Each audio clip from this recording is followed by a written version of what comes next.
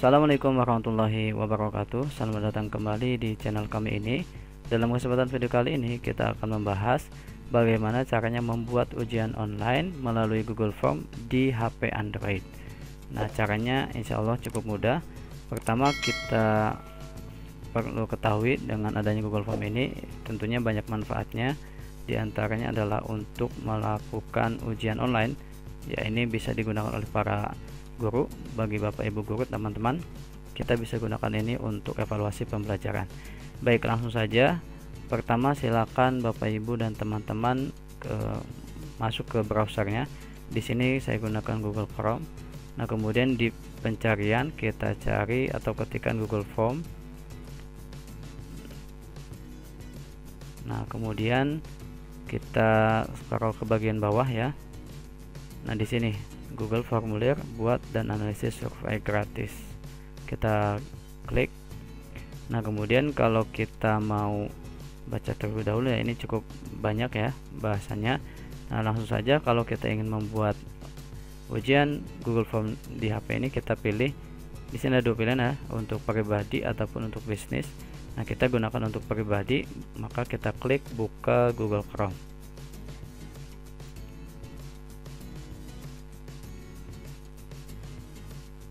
Baik, nah selanjutnya ini adalah tampilan awal daripada Google Google Form dan di sini ini adalah uh, versi terbaru di tahun 2021 ini gitu ya di pertengahan tahun ini.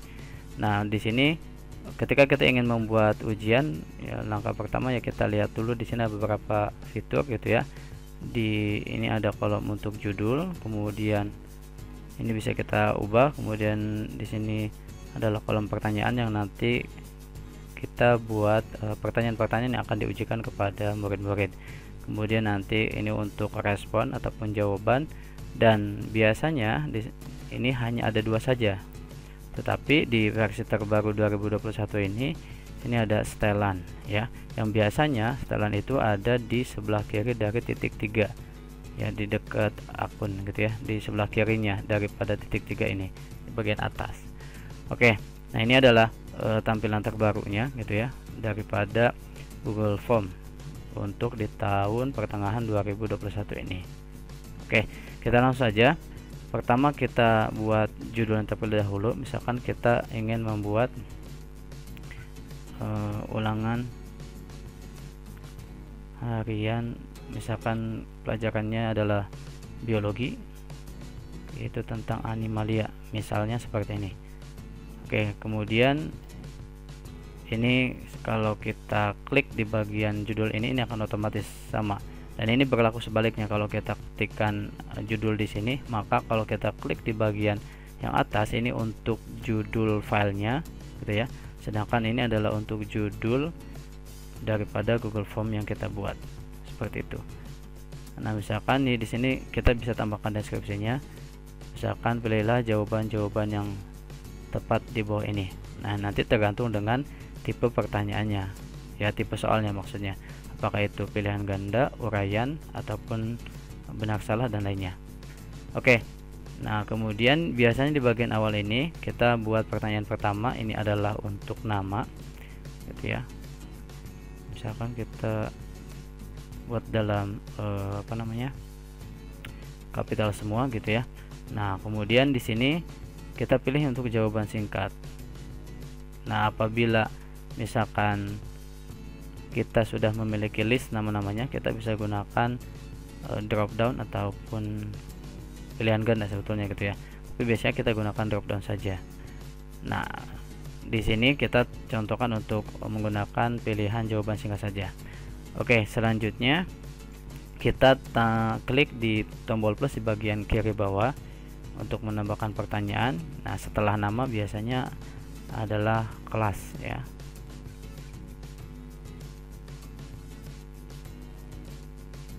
Oke nah kelasnya nanti di sini kita bisa buat dalam bentuk pilihan ganda atau drop down. Disesuaikan saja. Misal di sini opsinya adalah untuk kelas 10 IPA 1 kemudian kita klik ditambahkan opsi 10 IPA 2 kemudian kita tambahkan opsi satu lagi misal yaitu 10 IPA 3 oke nah jika sudah ini adalah untuk kolom biasanya untuk kolom identitas. Kalau misalkan Bapak Ibu atau teman-teman ingin menambahkan misalkan seperti pertanyaan lain seperti nomor absen atau NIS dan lainnya bisa ditambahkan dengan cara mengklik di bagian plus yang ada di bagian kiri bawah ini. Gitu. Oke karena kita akan menggunakan Google Form ini untuk ujian maka kita kembali ke bagian setelan. Ini lebih mudah ya kita tinggal klik setelan saja di sini. Kemudian di bagian atas ini ada jadikan ini sebagai kuis. Ya ini fungsinya adalah untuk ujian. Kemudian ini untuk rilis nilainya biasanya kita pilih segera setelah pengiriman kemudian e, nanti responden atau murid kita itu akan dapat melihat e, misalkan yang pertama adalah pertanyaan ter terjawab.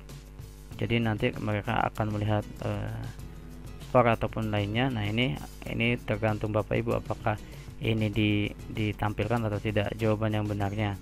Nah misalkan untuk jawaban yang benar ini untuk antisipasi e, misalkan waktu pengerjaannya itu berbeda ataupun ada yang mengerjakan duluan ini khawatirnya ingin akan memberikan contekan ataupun jawaban kepada e, siswa yang belum mengerjakan untuk nilai poin ini juga silahkan disesuaikan nah kemudian di sini ada default quiz global eh, untuk nilai poin pertanyaan.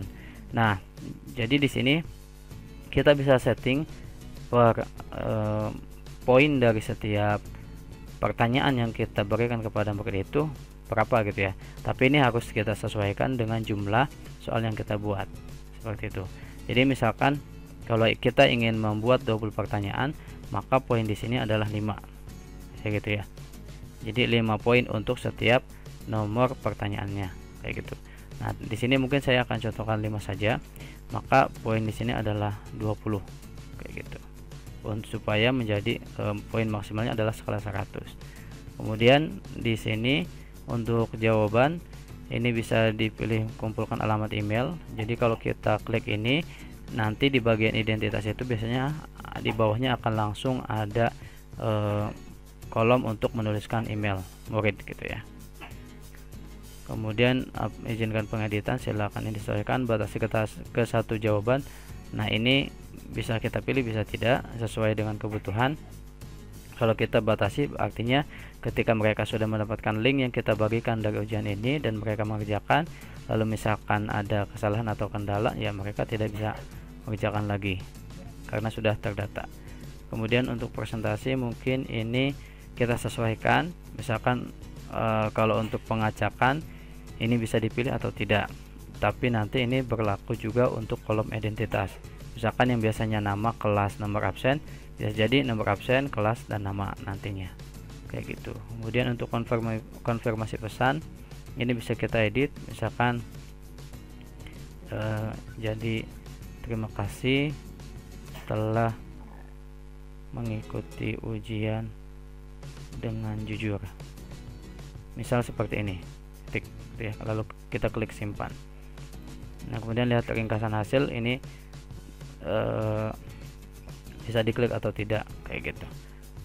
Oke saya rasa cukup untuk ini. Formulir default. Ini pun ya ini uh, bisa disesuaikan nah jika sudah kita kembali ke pertanyaan. Nah karena tadi kita sudah jadikan ini sebagai quiz. Oh ya. Kita uh, ini kan kita sudah punya bagian pertama ya itu untuk identitas nama dan kelas. Nah kita tambahkan bagian kedua supaya nanti jadi dua dua halaman yang berbeda yaitu untuk pertanyaan kita klik di bagian kanan bawah.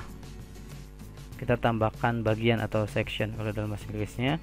Lalu kita ketikkan judulnya.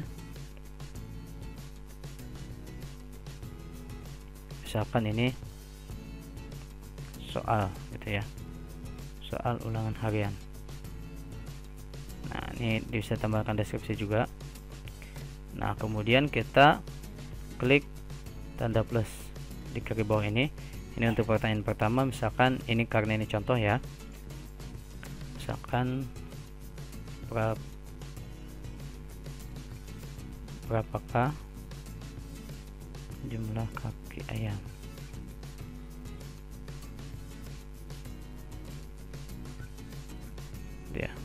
ini. Kemudian nanti ini misalkan tipenya pilihan ganda opsinya 1 2 3 dan 4 misalkan gitu ya.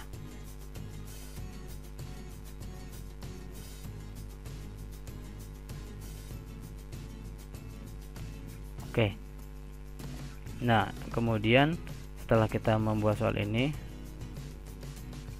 nanti kita klik di bagian saya ulangi.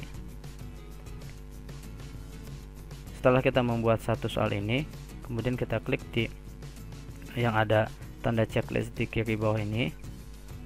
Nah setelah kita mengklik di checklist tadi e, untuk menentukan poin dan juga kunci jawaban maka untuk poin ini otomatis karena sudah kita setting di bagian setelan tadi. Nah kemudian kita tinggal menentukan kunci jawabannya. Jumlah kaki ayam ya dua gitu ya. Nah setelah ini kita klik selesai. Oke. Kemudian lanjut ke pertanyaan kedua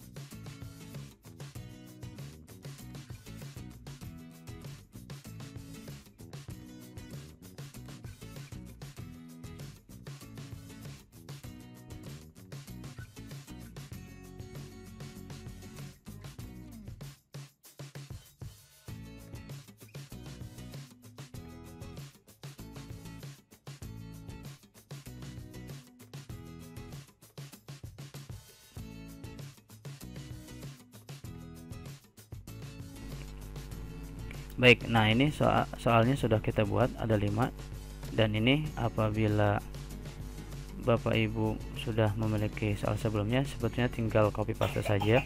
Tapi jika belum ya eh, kita lakukan seperti ini gitu ya. Oke, kita coba cek kembali. Ini judulnya sudah ada, kemudian untuk identitasnya ada, kemudian untuk eh, soal-soalnya juga sudah ada gitu ya. Nah, kemudian apabila kita ingin mempercantik tampilannya kita klik di bagian tengah ini yang bentuknya seperti ini gitu ya. Nah kita pilih misalkan kita ingin tambahkan header ataupun bagian atas ya. Nah misal karena ini mungkin berupa biologi gitu ya. Ya mungkin yang seperti ini. Kemudian kita pilih lalu kita klik sisipkan latar belakangnya jika ingin diubah silahkan tapi biasanya ini nanti mengikuti. Oke setelah itu kita klik terapkan. Oke kita coba scroll. Nah ini headernya sudah otomatis ada gitu ya. Baik nah selanjutnya kita ke uh, ujikan apakah ini sudah betul atau belum gitu ya. Nah kita klik di bagian ini di tanda panah ke kanan gitu ya. Nah ini untuk kirim formulir bisa melalui email melalui link ataupun kita sematkan. Kita pilih yang link saja kita perpendek URL nya dulu kita centang ya lalu kita salin. Kemudian kita coba oke okay, kita coba uji cobakan. Uh, kemudian kita klik uh, di tab baru gitu ya. Nah, kita pastikan di sini. Lalu kita klik go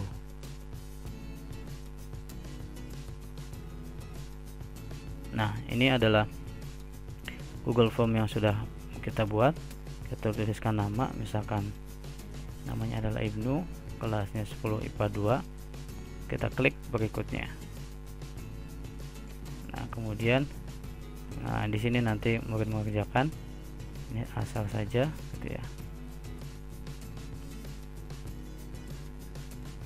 Nah selanjutnya kita klik kirim oke sudah ya. Nah nanti di sini kita coba lihat. Murid nanti bisa melihat skornya. Dan ternyata skornya adalah 20 dari 100 kayak gitu ya. Nah jadi ini hasil pengaturan. Jadi mereka bisa melihat uh, mana yang benar dan salahnya ternyata ya karena tadi kita tidak setting. Kayak gitu. Jadi nanti ini ini bisa jadi catatan buat kita. Oke selanjutnya kita kembali lagi ke uh, formulir yang kita buat ya yaitu di tab ini. Kita kembali ke tempat pembuatan daripada formulir ataupun ujian ini. Nah selanjutnya bisa Bapak Ibu lihat di sini di jawaban ada angka satu ya. Artinya sudah ada jawaban yang masuk satu yang barusan kita buat. Oke ini ada namanya. Kemudian untuk kelasnya baru satu warna merah ya untuk 10 IPA 2 ini untuk uh, anali analisanya gitu ya. Oke. Ini bisa ringkasannya per pertanyaan ataupun per individual. Nah nanti untuk per individual ini nanti kita bisa klik di arah panah kanan kiri ini. Karena ini baru satu ya tidak bisa digeser kanan atau kiri. Bisa diklik kanan atau kiri ini oke seperti itu. Nah kemudian selanjutnya adalah kita cek uh, nah selanjutnya kita cek ya uh, nanti rekapannya seperti apa gitu ya. Ya masih di bagian jawaban ini kita pilih di spreadsheet yang warnanya hijau kayak plus ini gitu ya. Kita klik saja Nah, kita buat spreadsheet baru, lalu kita klik buat di bagian pojok kanan atas. Nah, ini secara otomatis akan membuka di kita buka di Chrome saja. Ini nanti akan masuk ke Google Spreadsheet. Ini mungkin kita klik lain kali. Nah, nanti di sini ada rekapannya. Ini tanggal pembuatannya, skornya berapa, nama, kelas, ini per pertanyaannya. Itu ya sesuai dengan pertanyaan-pertanyaan yang eh, teman-teman uh, dan Bapak Ibu buat. Nah, kemudian nanti untuk uh, rekapan lainnya kita juga bisa cek di Google Drive gitu ya. Kita klik di drive kita. Nah, ini kita pilih kita reload ya nah karena kita tidak buat folder gitu ya. Jadi nanti sebetulnya kita bisa buat folder supaya nanti untuk uh, Google Formnya dan juga rekapan yang ada pada spreadsheetnya itu berada dalam satu folder. Nah kita bisa buat sebetulnya. Nah ini untuk tampilan seperti ini. Jadi ini ulangan harian yang barusan kita buat dan ini untuk uh, spreadsheetnya gitu ya. Oke nah ini kita bisa share atau copy link atau nanti kita bisa ubah namanya. Seperti itu. Baik bapak ibu itu adalah untuk pertemuan video kita kali ini tentang cara membuat ujian online berbasis Google Form melalui HP Android. Oke kurang lebihnya mohon maaf. Tetap semangat. Assalamualaikum warahmatullahi wabarakatuh